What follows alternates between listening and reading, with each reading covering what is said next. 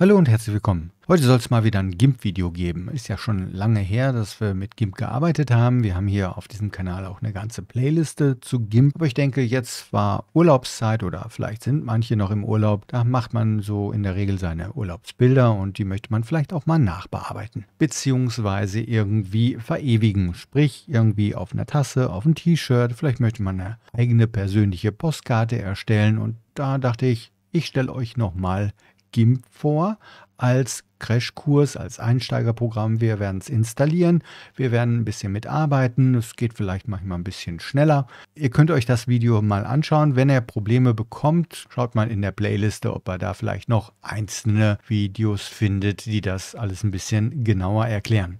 So, was ist GIMP jetzt? GIMP ist ein GNU-Bildbearbeitungsprogramm, Bildmanipulationsprogramm. Eigentlich ist GIMP die Open-Source-Antwort auf Photoshop. Nur GIMP ist, wie gesagt, frei und will auch frei bleiben. Das heißt, es untersteht einer Lizenz, einer sogenannten Copyleft-Lizenz. Ihr dürft es benutzen, kopieren, aber ihr dürft nicht unbedingt das Programm verändern und dann unter eurem Pseudonym sozusagen verkaufen. Aber gut, das ist alles ein anderes Thema. Das ist alles der Bereich Open Source.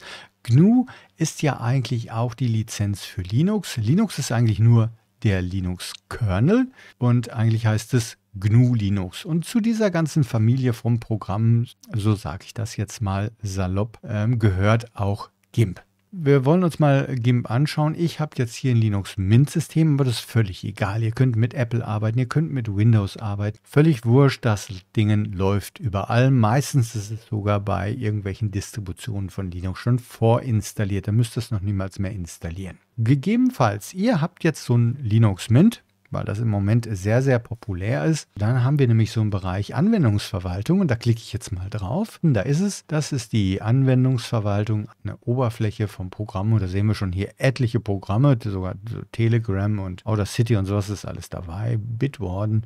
Naja, das ist nur ein kleiner Ausschnitt. Wir suchen jetzt ganz explizit nach GIMP oder wir können auch mal eben äh, schauen, was wir hier für Grafik- und Bildbearbeitungsprogramme haben und da ist es natürlich auch schon sofort dabei dabei. Wir haben auch hier Inkscape und, und, und Krita, kann ich auch sehr empfehlen, haben wir auch bei uns auf dem Kanal, beziehungsweise Krita habe ich noch gar nichts zu gemacht. Ich sage jetzt mal so, das ist eine Weiterentwicklung oder eine Spezialisierung von GIMP für Leute, die gerne mit einem Grafiktablett arbeiten und zum Beispiel Mangas erstellen, also wirklich kreative Leute, während GIMP da so ein bisschen allgemeiner ist.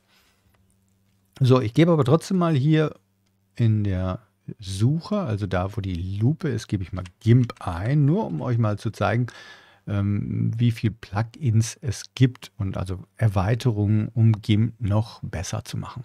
So, hier habe ich äh, das Bildbearbeitungsprogramm, da lädt er erstmal. Ich habe ein Systempack installiert. Ich könnte aber auch ein Flatpak installieren. So, wer Linux kennt, der kennt jetzt vielleicht auch schon die Unterschiede. Flatpak ist moderner, aber ich habe mich für das Systempack entschieden, weil ich dann noch solche Sachen wie zum Beispiel den Gimmick installieren kann. Und das ist eine ganz tolle Erweiterung, wo ich dann auch so Rahmen mit erzeugen kann, irgendwelche Special Effects. Und es geht am besten mit dem Systemprogramm. Und ihr seht, da war es gerade nochmal also der zaubert so einiges aus dem GIMP-Hut. Ja, jetzt bin ich jetzt nochmal auf der Website, aber da wollte ich sowieso hin. Ich wollte gleich mal den Firefox benutzen, also irgendeinen Browser, um mal nach GIMP zu suchen. Also das wäre jetzt hier. Nö, ich akzeptiere hier erstmal gar nichts. Das wäre jetzt hier die Open Source Gravity Design Software von Gimmick. Aber das könnte man darüber auch installieren. So, machen wir nochmal ein Tabulator offen. Also wie gesagt, der hat jetzt hier meinen Browser gestartet. Ich war ja noch bei der Anwendungsverwaltung und äh, dann können wir hier noch zusätzliche Texturierungen hinzufügen und so weiter und so fort. Also wenn man sich ein bisschen intensiver mit dem Programm beschäftigen will. Hier auch noch was zum Drucken, Gutenberg Print. Also wenn ihr wirklich alte Drucker habt, die unter Windows gar nicht mehr laufen, hier findet ihr noch uralt Treiber für irgendwelche Drucker, wo ihr noch nicht mal mehr, sagen wir mal, bei Canon oder OP oder wie sie alle heißen, das wäre hier möglich. Da schließen wir mal. Ich hatte hier meinen Firefox offen und da gehen wir auch nochmal GIMP ein. Und an erster Stelle haben wir diese Seite gimp.org und das möchte ich euch wirklich ans Herz legen. Nehmt nicht irgendetwas wie gimp24.net.de. weiß ich nicht. gimp.org, org steht für Organization, das ist die Originalseite. Da könnte ich es auch mal eben übersetzen. Und hier bekommt ihr in der Regel euer Programm zum Download. Das ist der aktuellste Download. Hier hätte ich jetzt ein Flatpak, weil meine Systeminstallation ist jetzt nicht die aktuellste. Aber das will ich ja nicht. Ähm, ich habe das ja über meine Anwendungsverwaltung gemacht. Aber hier habt ihr dann auch noch Windows und ihr habt auch macOS inklusive aller möglichen Linux-Distributionen. So, dann gehen wir nochmal zurück was vielleicht viele machen, die gehen auf GIMP von Chip. Das könnt ihr natürlich hier auch herunterladen, allerdings würde ich davon abraten, geht lieber auf die Originalseiten. Hier wird manchmal noch zusätzlich was installiert. Ich möchte es nicht, vielleicht findet ihr das toll, wenn ihr irgendwelche Download-Programme noch bekommt, noch Gratis-Programme, aber so müllt man sich schnell mal seinen Rechner voll ja, hier sind ein paar Videos, da haben wir noch so GIMP24, kann ich nichts zu sagen, ich kenne die Seite nicht. Heise ist auch dabei, also diese ganzen Zeitschriften, die verdienen natürlich auch ein bisschen ihr Geld damit, äh, dass sie euch diesen Download anbieten und vielleicht auch ein paar Informationen sammeln. So, was ist denn äh, mit Wikipedia? Ein pixelbasiertes Grafikprogramm. Wobei man auch schon wieder sagen muss, pixelbasiert, nicht hundertprozentig pixelbasiert, denn wenn ich mit Faden arbeite, dann kann ich sogar skalierbare Vektorgrafiken erstellen. Also sowas, was Inkscape dann weiter benutzt. Das ist auch mit GIMP möglich. Aber in der Regel ist es halt ein pixelbasiertes, also ein Bitmap-basiertes Programm, mit dem man arbeitet. Schaut es euch an, lest es euch durch. Also ist schon interessant, woher GIMP kommt. Hier aus der alten Unix-Zeit sogar noch, da haben wir schon. Und ihr seht, 1900, was habe ich gerade gesagt, 1998 wurde schon veröffentlicht. Also ein wirklich alter Hase. Und wir haben jetzt hier die Version 2.10. Es gibt auch schon die Dreier-Version, aber das ist noch nicht so stabil. Lieber eine stabile Version, die vernünftig läuft, als immer das aktuellste. Kann man sich durchlesen, muss man aber nicht. Wie gesagt, im Internet solltet ihr dann unter gimp.org euch das Programm herunterladen. Gut, lange Rede, kurzer Sinn. Starten wir doch das Programm einfach mal. Ich habe es hier natürlich schon installiert. Ihr habt es gesehen vorhin. Da haben wir GIMP 2.10. Die Oberfläche, ja, ich sag mal, vielleicht ist es ein bisschen gewöhnungsbedürftig. Wir haben hier oben links in der Regel unseren Werkzeugkasten. Sollte das nicht der Fall sein, müsst ihr hier unter Fenster und dann können wir mal hier unter neuer Werkzeugkasten den Werkzeugkasten wieder neu erstellen oder mit der Tastenkombination Steuerung und B oder Command und B für Apple-Leute. Dann habt ihr hier diesen Werkzeugkasten. Das ist mit das Allerwichtigste, sonst könnt ihr eigentlich gar nichts mitmachen. Manchmal habt ihr noch nicht mal hier oben diese, diese Leiste. Das kann man alles konfigurieren und abschalten. Auf jeden Fall, wenn das nicht da ist, dann geht ihr nach Fenster und guckt mal hier nach dem neuen Werkzeugkasten. Und darüber findet ihr die andockbaren Dialoge. Was ist das jetzt? Andockbare Dialoge, das haben wir hier unter dem Werkzeugkasten. Da haben wir die Werkzeugeinstellungen. Da klicke ich mal kurz drauf und dann kann ich hier dieses Fenster, deswegen finden wir das alles hier unter diesem Menüpunktfenster, herüberziehen. Dann seht ihr hier einzelne Fenster. Die kann man auch auf anderen Bildschirmen exportieren oder, oder rüberschieben. Also ich habe jetzt einen zweiten Bildschirm und dann schiebe ich das einfach mal darüber und dann hätte ich hier viel mehr Arbeitsfläche. Aber ich habe es gerne unter den eigentlichen Werkzeugen. So, die Werkzeugeinstellungen sind jetzt immer abhängig von dem benutzten Werkzeug. Zum Beispiel, wenn ich hier diesen Pinsel mal ändere in einen eine Sprühpistole, dann haben sich hier auch ein paar Einstellungen geändert. Oder noch gravierender wird es, wenn ich jetzt hier auf so ein Auswahlwerkzeug gehe oder hier auf so ein Farbverlaufwerkzeug, dann ändert sich das hier unten. Oder hier ein Auswahlwerkzeug. Die werde ich euch gleich alle nochmal so vorstellen. Wir gehen jetzt hier nicht alles durch. Es ist jetzt nicht der typische GIMP-Kurses, wo man dann sagt, so, da müsst ihr klicken, da müsst ihr klicken, sondern ich zeige euch jetzt mal ein bisschen Praxis. So, auf jeden Fall, hier haben wir unsere Werkzeuge, darunter die Werkzeugeinstellung. Und an der rechten Seite habe ich hier, ganz wichtig, das brauchen wir heute, unbedingt die Ebenen. Also es sind so, so einzelne Schichten, also als würdet ihr verschiedene Blätter übereinander legen oder verschiedene Fotos übereinander legen. Das Foto, was unter dem anderen Foto liegt, das seht ihr nicht. Und das haben wir hier auch bei den Ebenen so. Aber es ist da drunter. Und wenn man jetzt bei dem einen kratzen würde, ein Loch einstanzen würde, würde das andere durchscheiden. Das ist der Trick und mit dem arbeiten wir. Und dahinter, da gibt es noch Pfade. Pfade ist ein super, super Werkzeug. Das ist äh, dieses hier. Das ist unser Pfadwerkzeug.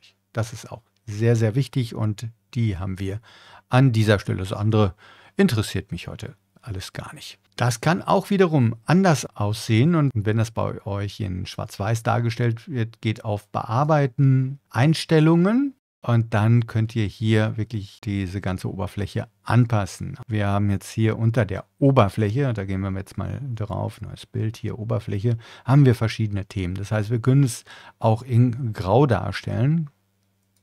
Wir können es hell darstellen, wir können es systemabhängig machen. Ich glaube, ich habe jetzt hier ein relativ helles System. Aber ich äh, bevorzuge, wie bei Photoshop mittlerweile auch, diese dunklen Darstellungen, weil da die Farben einfach besser zur Geltung kommen. Und apropos Farben, hier unter den Symbolen, also unter Thema, Symbolthema, habe ich dann hier meine Legacy-Einstellung. Das ist die ganz alte Einstellung für diese Symbole. Damit bin ich groß geworden. Die kenne ich schon seit Jahrzehnten. Und da weiß ich sofort, wo welches Symbol ist. Und ich habe mir die auch ein bisschen vergrößert hier. Ich habe die auf groß stehen. Natürlich nehmt ihr dann hier viel Platz weg. Ihr könnt das natürlich alles runterziehen auf andere Größen. Hier haben wir auch nochmal bestimmte Auflösung. Aber hier könnte man das jetzt auf ganz klein machen, so gehe ich jetzt hier mal auf Color, wenn es jemand besser gefällt. Aber bei der Grundinstallation habt ihr diese schwarz-weiß-Symbole. Moment, da haben wir sie. Sowas ist alles einstellbar. Gut, das macht dann jeder selber, wie er gerade Lust hat. So, dann haben wir hier unser GIMP-Programm und ich habe hier nochmal was vorbereitet, ein paar Bilder. Ihr werdet natürlich selber eigene Bilder haben. Ich habe hier so ein paar Urlaubsbilder herausgesucht. Die habe ich teilweise vom Pixabay, aber manche habe ich ja auch einfach von der KI generieren lassen, damit ich jetzt ein bisschen Material habe. Wie öffne ich jetzt so ein Bild? Na, nehmen wir mal dieses Bild hier. Da haben wir so einen Dünenhintergrund. Ich wähle die rechte Maustaste. Das könnt ihr bei Windows, glaube ich, genauso machen. Öffnen mit. Und jetzt gehe ich hier auf GIMP. Das ist hier in meinem Kontextmenü vorhanden, klickt da drauf, da hat er kurz gerödelt und jetzt wird das hier in meinem Programm geöffnet. Dann nehmen wir mal ein anderes Bild, vielleicht dieses Fahrrad, rechte Maustaste öffnen mit GIMP. Jetzt wird das geöffnet. Und wenn wir uns das jetzt mal einschauen, dann haben wir hier das erste Bild und da das zweite Bild. So, jetzt gibt es noch eine andere Möglichkeit. Nehmen wir mal hier dieses Kind und ziehen das jetzt auf das erste Bild. Ich habe das jetzt hier angeklickt, ausgewählt, halte das Bild von dem Kind fest und ziehe das jetzt hier einfach drauf. Jetzt ist folgendes passiert. Wir haben zwei Bilder übereinander gelegt. Wir haben das kleinere Bild über das größere gelegt. So, wäre das nicht der Fall, sähe das so aus. Jetzt hätte ich das kleinere abgedeckt. Aber an der rechten Seite, wir sind auf Ebenen, da sehen wir jetzt, liegt das große Bild das ich als Hintergrundbild nehmen möchte, über den kleinen Bild. Ich könnte jetzt hier auch auf dieses Auge gehen und dann blende ich das einfach aus. Und jetzt sehen wir hier so Kästchen und diese Kästchen, das ist ein bestimmtes Muster für Transparenz. Also wenn, wenn sowas so aussieht, dann ist dieser Bereich hier transparent. Und wenn ich jetzt das große Bild, was ich vorhin hatte, hier drunter ziehe, hat sich erstmal nichts geändert. Deswegen, weil ich hier das Auge wieder ausgeblendet habe kann auch das Bild ausblenden, habe ich wieder das in einer kompletten Darstellung. Worauf ihr unbedingt achten müsst, ist, dass wir hier im Moment auf dieser Ebene sind. In der Regel arbeitet ihr auf der Ebene, die hier ausgewählt ist.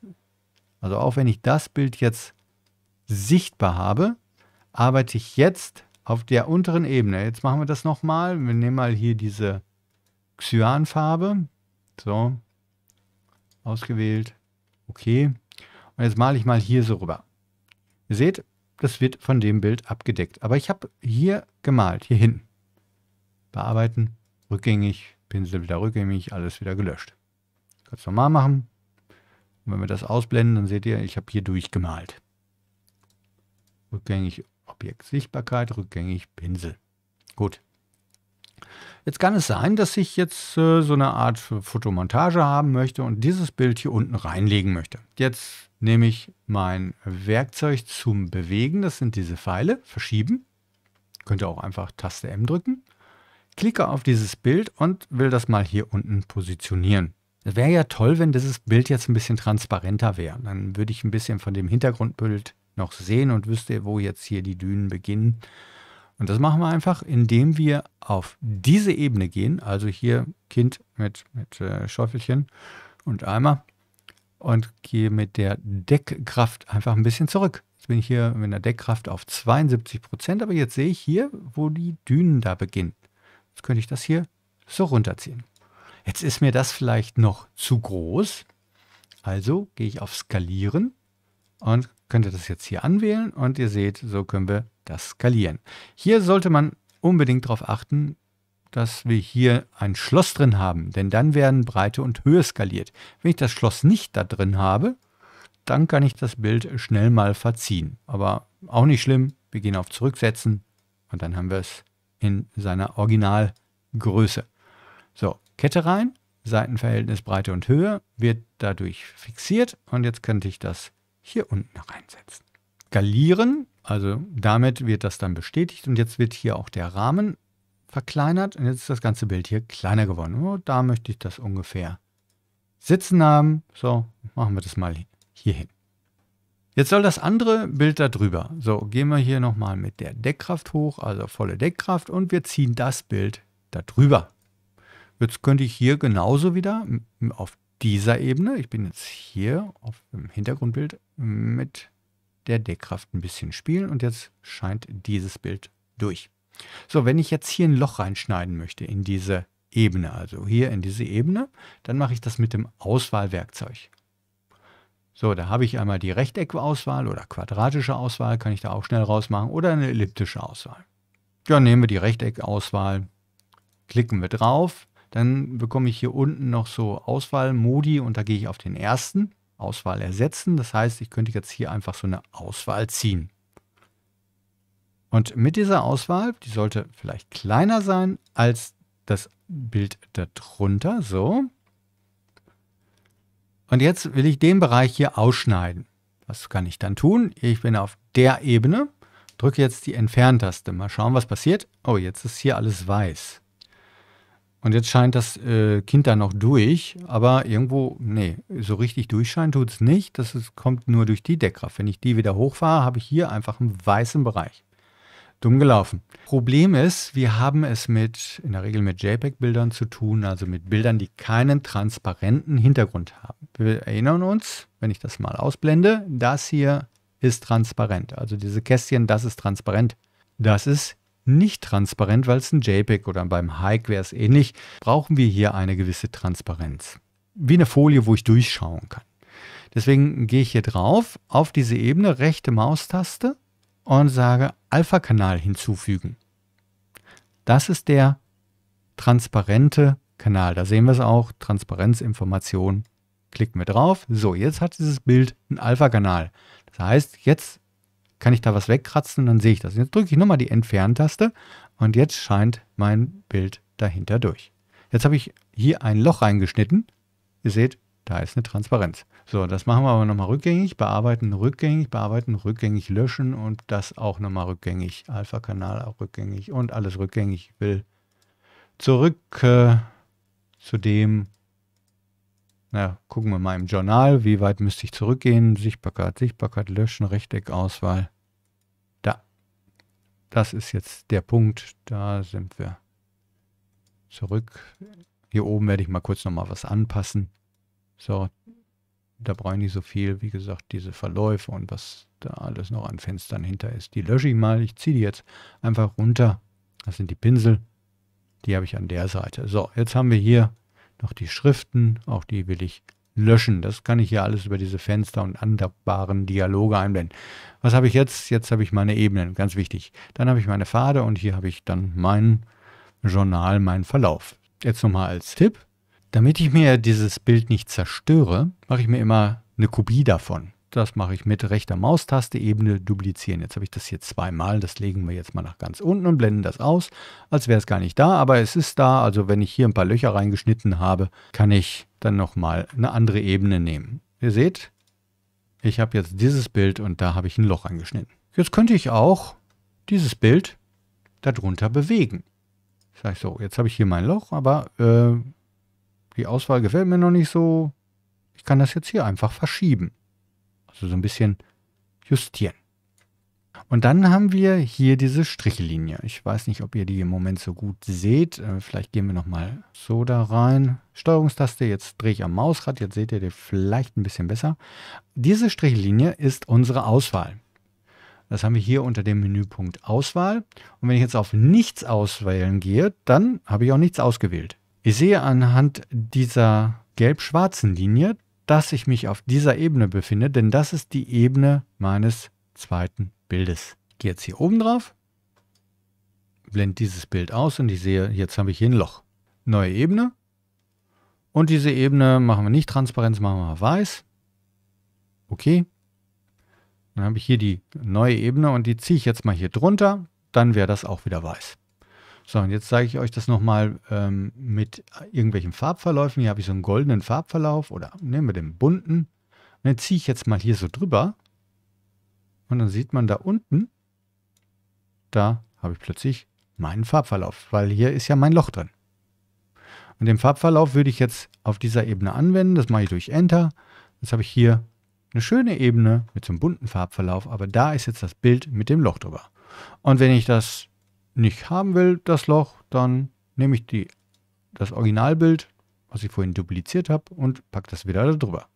Würde alles so funktionieren. So, ziehen wir das runter. Das brauchen wir nicht. Entfernen. So kann man natürlich auch wunderbar irgendwelche Muster reinschneiden. So, das setzen wir wieder rein. Und äh, das Witzige war jetzt, jetzt scheint dieses Bild wieder heile zu sein, aber in Wirklichkeit scheint genau das gleiche Bild unten durch und äh, wenn ich den jetzt hier einblende, dann habe ich den dazwischen sitzen. So, den blenden wir wieder aus. Ich hoffe, das ist klar. Jetzt möchte ich hier so einen weißen Rahmen drum haben. das ist gar nicht so einfach mit GIMP. Das ist ein kleiner Trick, das ist vielleicht auch schon für Fortgeschrittene, aber kriegen wir ganz schnell hin. Wir gucken uns das nochmal an. Welches Bild nehmen wir denn? Ja, es gibt zwei Möglichkeiten. Wir können dieses Bild nehmen, also diese Ebene nehmen. Und dann gehen wir hier auf den Zauberstab. Das ist der hier. Zauberstab. Und dann klicke ich hier rein. Und dann wird das ausgewählt. So, ich habe hier gerade nochmal umgeschaltet. Hier, hier diese Module, das ist ja die Werkzeugeinstellung für meinen Zauberstab. Aktuelle Auswahl ersetzen. Und dann kann ich auch die Auswahl abziehen. Das ist so ein bisschen Bullshit. Algebra oder Schnittmenge bilden und so ein Zeug. Also hiermit habe ich die Auswahl ersetzt und jetzt habe ich hier meine Auswahl. Selbst wenn ich dieses Bild jetzt wieder ausblende, habe ich hier meine Auswahl. Gut, ihr habt gesehen, hier oben konnte ich die Auswahl entfernen und dann ist meine Auswahl weg und dann weiß ich auch gar nicht mehr, wo, wo hatte ich jetzt hier diesen Bereich. Das habe ich jetzt über diese Ebene gemacht mit dem Zauberstab. Gibt noch eine andere Möglichkeit. Auswahl nichts. So, wir nehmen das Bild. Also diese Ebene. Jetzt können wir die da drüber machen. Jetzt könnte ich hier sagen Auswahl aus Alpha-Kanal. Jetzt hat er allerdings diesen großen Bereich ausgewählt. Das ist nämlich mein gesamtes Bild. Nochmal rückgängig machen. Jetzt nochmal mit dem Zauberstab da rein. Jetzt habe ich den kleinen Bereich ausgewählt. So, diese Auswahl möchte ich jetzt speichern irgendwie. Also ich verliere die ja dauernd. Könnte ich jetzt da natürlich mitarbeiten, aber ich möchte die mal speichern. Und dazu gehen wir auf die Pfade. Und mit diesem Symbol hier unten, ich da mal drauf bleibe, Pfad aus Auswahl. Dann kann ich durch Drücken auf dieses Symbol aus dieser Auswahl einen Pfad erstellen. Den haben wir jetzt hier oben. Den kann ich auch anzeigen lassen, wieder mit so einem Auge. Dann seht ihr das rote, das ist der Pfad und das gestrichelte ist die Auswahl. Wenn ich jetzt sage Auswahl entfernen, also Auswahl nichts, dann habe ich hier die rote Linie. Aber nur, wenn ich sie hier auch anzeige. Das ist mein Pfad. So, was hat der Pfad für Vorteile? Ich kann aus diesem Pfad jederzeit wieder eine Auswahl machen. Also so kann ich mir praktisch solche gewissen Bereiche, so eine Auswahl, speichern. Das mache ich über so ein Fahrtwerkzeug. Ich hatte vorhin mal gesagt, ja, wir haben zwar hier ein Bildbearbeitungsprogramm für Pixel, aber wenn ich das hier speichere, speichern unter, Fahrt exportieren, dann ist das in Wirklichkeit sogar eine Vektorgrafik. Ihr seht hier oben SVG, skalierbare Vektorgrafik. Also diese Linie, jetzt ist es ein Rechteck, kann aber auch ein Kreis sein, kann aber auch irgendwie eine wilde Form sein. Das ist ein Pfad und dieser Pfad ist in Wirklichkeit eine Vektorgrafik, die ich exportieren kann. Dann habe ich nur die Form, also die, die Linienform und die kann ich dann in anderen Programmen wie Inkscape oder so weiter weiterverwenden. Nur mal so nebenbei. Haben wir auch schon mal Videos zu gemacht. So, auf jeden Fall habe ich jetzt hier die Auswahl, auch hier nochmal gespeichert. Und jetzt äh, schauen wir uns mal die Pinsel an. So, dann nehmen wir hier uns diesen Pinsel, dann nehmen wir uns die Farbe Weiß. Die Farbe Weiß ist im Moment die Hintergrundfarbe, kann ich aber auch eben ändern, indem ich auf diesen Pfeil drücke ich hätte es auch machen können, indem ich jetzt hier wirklich auch die Farbe auswähle. So, jetzt habe ich Vordergrund und Hintergrund weiß. Naja, wir machen jetzt hier auf diesem Bild mal eine weiße Linie, also einen Rahmen sozusagen hier drum. Da suchen wir uns jetzt hier einen vernünftigen Pinsel aus. Wir nehmen ruhig diesen Punktpinsel. Der hier hat jetzt keine weichen Kanten, so wie der hier. Der hat eine ganz scharfe Kante. Wir haben die Farbe weiß und wir wollen die Pinselgröße vielleicht mal so auf sagen wir mal 15 Pixel einstellen. Kann ich hier reinklicken und wähle 15. Und jetzt habe ich die Möglichkeit, unter Pfade das Ganze mit einem Pinsel nachzuzeichnen. Und das ist dann dieses Symbol. Am Pfad entlang zeichnen. So, dann kriege ich hier ein neues Menü. Vollfarbe. Ich habe im Moment weiß. Die Form des Pinsels habe ich hier eingestellt. Mit harten Kanten. Hardness 100. Die Größe habe ich eingestellt, Seitenverhältnis klar, okay, Winkel ist völlig wurscht. Das ist jetzt hier 0%, ist ja ein Kreis. Abstand kann man auch nochmal drauf eingehen, brauchen wir nicht. Das lasse ich alles so stehen und machen wir Nachzeichnen. Und jetzt sehen wir hier so eine weiße Linie. So, die weiße Linie, die werde ich mal in schwarz nachzeichnen. Okay. Und dann gehen wir wieder hier drauf. Nachzeichnen. Jetzt habe ich hier so eine schwarze Linie drum. So könnte ich auch hier diese Pipette nehmen und dann mal schauen, was haben wir denn hier für Farben. Müssen wir jetzt hier nochmal schauen auf diesem Bild, dieser Ebene. Jetzt haben wir hier so ein schönes Blau, so ein Himmelblau. Ja, nehmen wir das mal. Und dann gehen wir wieder auf die Pfade und sagen wieder nachzeichnen und diesmal in diesem Himmelblau. Auswahl nichts. Sowas ist dann wirklich schön für ein Passepartout und ähm, so können wir auch mehrere Bilder noch reinsetzen. So, dann nehmen wir doch mal hier dieses Rentnerpaar vielleicht, ziehen das auch wieder in unser Bild rein. Einfach hier drüber. Flupp, da ist es.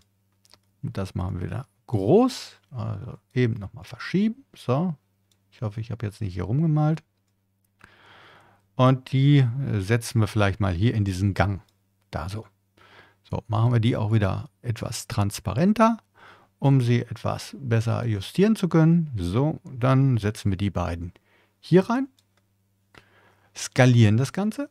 Ich bin jetzt hier oben drauf gegangen auf Skalieren. Wenn ihr euch ein bisschen Zeit lasst, dann seht ihr auch die ganzen Auswahlmöglichkeiten. Skalieren. Klick auf dieses Bild und ziehe die jetzt mal hier so rein. Jetzt kann ich, indem ich hier auf diese Mitte gehe, nicht nur skalieren, sondern das Ganze auch nochmal bewegen. So. Skalieren. Abgeschlossen. So, da sollen die rein. Und auch hier will ich jetzt wieder so einen Schnitt drum machen. Jetzt müssen wir natürlich erstmal wieder gucken, dass wir unsere Ebene da drüber setzen. Da gehen wir wieder mit der Deckkraft etwas runter. Hier gehen wir mit der Deckkraft etwas rauf, damit das ein bisschen besser da durchscheint. Dann nehmen wir wieder unser Auswahlwerkzeug. Wir könnten jetzt auch mal so eine Ellipse nehmen. Von mir aus, ob das jetzt schön aussieht oder nicht, ist ja wurscht. Wir gehen auf dieses Bild. Ich habe das elliptische Werkzeug. Jetzt muss ich hier gucken. Ähm, ihr seht, es wird wieder äh, durchgestrichen. Also es ist nicht aktiv. Das liegt jetzt einfach am Modus. Muss die Auswahl ersetzen und ziehe dann so eine elliptische Auswahl darum. Warum geht das nicht mit der Ellipse? Ganz einfach. Also der ist jetzt auf rund, könnt es jetzt auch rund machen. Aber hier haben wir ein Seitenverhältnis. Ihr seht in den Werkzeugeinstellungen, das ist fixiert. Nehmen wir das raus und dann machen wir das so ein bisschen elliptisch. So. Jetzt möchte ich praktisch wieder was ausschneiden, also die oberste Ebene. Und die Deckkraft machen wir wieder voll rein. Da wollen wir jetzt entfernen.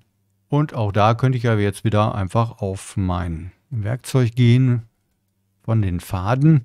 Hier unten war der Pinsel. Und jetzt müsste ich aber am Pfad entlang zeichnen. Ja, aber ich habe noch gar keinen Pfad.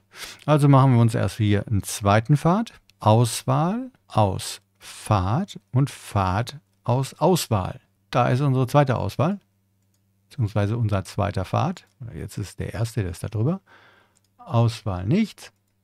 Jetzt sehen wir hier diese rote Linie, das ist dieser Pfad. Einmal, ich meine gut, wir können jetzt mal kurz gucken, machen wir hier alle Bilder raus und da sehen wir einmal eine rote, einmal eine blaue. Also erster Pfad, zweiter Pfad. Und dann wollen wir mal schnell wieder unsere Bilder einblenden.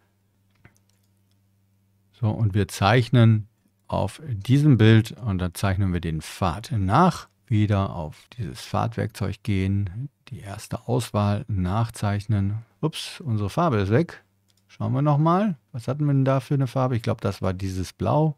Hier werden die Farben erstmal noch so ein bisschen abgespeichert. Okay, dann machen wir das Ganze nochmal, indem wir hier unten wieder drauf gehen. Und jetzt will er wieder diesen Pfad nachzeichnen, auch nochmal in Blau. Okay, fertig. So, und dann blenden wir wieder unsere Bilder ein. Die Pfade lassen wir raus. So, so kann man sich mal schön eine Collage anlegen. So, da hätten wir noch ein Fahrrad, könnte man auch jetzt reinsetzen. So, wie kriege ich das darüber? Jetzt müsste ich allerdings auf Bearbeiten, Kopieren gehen. Dann wieder hier das Bild umschalten, bearbeiten, einfügen. Nee, das ist eine schlechte Idee. Wir müssen einfügen als neue Ebene. Dann kriegen wir unser Fahrrad da rein. Und dann sehen wir wieder, wenn wir auf unsere Ebenen gehen, ach, da hätten wir dann vielleicht unser Rad. Setzen wir das mal hier oben hin. Und hier könnten wir jetzt auch einfach mal mit einem Rechteckwerkzeug ein bisschen schneiden. Soll da drunter. Die machen wir wieder transparent, damit wir sehen, wo unser Fahrrad liegt. Und schneiden hier unser Fahrrad aus. In dem Bereich schneiden, die ist jetzt aktuell, entfernen. Da ist es. Auswahl nichts. Da können wir jetzt wieder die Deckkraft höher ziehen. Da haben wir unser Fahrrad. So, was fehlt noch? Wir haben hier keinen Rahmen drum, also wieder gleiches Spielchen. Ich nehme hier meinen Zauberstab, gehe in dieses obere Kästchen, also die können wir auch nochmal rausmachen, damit wir wirklich sehen, wir sind jetzt hier oben in diesem Kästchen, wählen den Zauberstab an, jetzt haben wir hier die Auswahl. Ich gehe auf das Fahrtwerkzeug, also jetzt zum dritten Mal alles und wenn er es dann auch immer noch nicht verstanden hat, dann fangt nochmal von vorne an mit dem Video. Auswahl aus. Fahrt, nein, Pfad aus Auswahl. So, und da ist die neue Auswahl als Pfad. Da wieder in Rot. Jetzt sind die anderen in Blau. Ich weiß es nicht, ob der jetzt seine Farbe geändert hat. Auf jeden Fall können wir jetzt wieder nachzeichnen. Schauen wir mal, ob wir noch auf der richtigen Ebene sind. Ja, sind wir. Und wieder nachzeichnen. Dann blenden wir jetzt unsere ganzen Bilder ein, außer das unterste. Und jetzt haben wir hier noch eine Auswahl drin, die brauchen wir auch nicht. Nichts. Da sehen wir auch noch den Pfad, den wollen wir auch nicht haben. So, das wäre dann meine Collage. Und jetzt könnte ich ja auch noch irgendwie was reinschreiben, zum Beispiel hier unten Urlaub 2024. So, jetzt habe ich das markiert und da könnte ich mir nochmal irgendwie eine schöne Schrift aussuchen. Und dann mit diesem Werkzeug können wir dann die Schrift auch noch vergrößern oder verkleinern. Das können wir dann auch hier einfach durchdrehen, können wir das alles schön anpassen. Und auch das ist wieder eine eigene Ebene. Wenn ich jetzt hier unten mal aufs Bild klicke, dann habe ich hier den, den Urlaub. Beziehungsweise diese Ebene könnte ich auch wieder schieben, ein bisschen mehr in den Sand setzen, damit das besser zur Geltung kommt. Vielleicht machen wir da noch einen kleinen Schatten drunter. Filter, Licht und Schatten. Dann machen wir einen kleinen Schlagschatten drunter. Da seht ihr dann hier den Schatten im Sand und die Größe dieses Schattens bzw. Ausrichtung, das können wir hier mit X und Y reinstellen. Dann haben wir einen Weichzeichnungsradius, da könnten wir das noch stärker machen, also noch einen stärkeren Schatten. Ich kann es aber auch erstmal wieder zurücksetzen. Ich glaube, so ist ganz ganz gut. Da schaut man dann einfach, dass es mit den anderen Schatten übereinstimmt. Ich könnte den y-Wert jetzt einfach mal ein bisschen nach unten setzen. Dann würde das hier mit diesem Schatten schon mal ein bisschen besser korrelieren. Den x-Wert ziehen wir jetzt rüber. So. Denn wenn wir uns das Bild mal genauer angucken, dann muss ja irgendwo von hier die Sonne kommen, weil sonst hätte ich hier unten keinen Schatten. Und den habe ich jetzt hier mit diesem Urlaub übernommen. Kann ich noch die Deckkraft des Schattens erhöhen, dass das ungefähr mit dem hier übereinstimmt. Okay. So, diese gelbe Linie oder schwarz-gelbe Linie, das ist nicht BVB, sondern das ist einfach die Ebene, die wir hier von dem Text haben. Der Text ist jetzt verschwunden. Da sehen wir den Text nochmal. Der ist jetzt als eigentlicher Text verschwunden. Wenn ich mich jetzt hier verschrieben hätte oder sowas, kann ich aber da nochmal mit dem Textwerkzeug rein. Nur dann wäre der Schatten wieder weg. Denn ein Text mit Schatten ist kein Text mehr, sondern ein Bild. Und jetzt würde ich sagen, ich mache nochmal einen Rechtsklick hier im Ebenenbereich und dann machen wir einen neu aus Sichtbaren. So, und jetzt könnte ich hier alle Augen ausblenden. Und das wäre jetzt mein neues Urlaubsbild. Kann man dann auf eine Tasse oder ein T-Shirt setzen. Ich hoffe, das Video hat euch gefallen. Wenn ja, Daumen hoch und abonniert auch meinen Kanal. Ihr werdet hier noch einige GIMP-Videos oder überhaupt äh, Grafikvideos finden. Und wir machen hier auch natürlich weiter mit Joomla und Webdesign. Dann bis zum nächsten Mal. Tschüss.